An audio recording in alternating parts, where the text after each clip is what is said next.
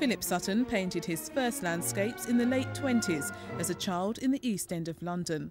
Influenced by Matisse and Picasso, his bold and vibrant paintings are admired by people from all walks of life, particularly Lord Snowdon and the actor Albert Finney, who are both proud owners.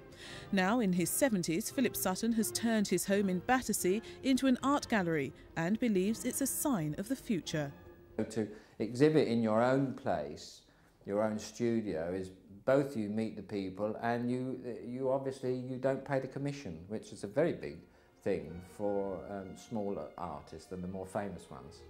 My advice would be to start on in your own backyard and put a, take the thing, take your you, kitchen utensils down and have an exhibition in the kitchen.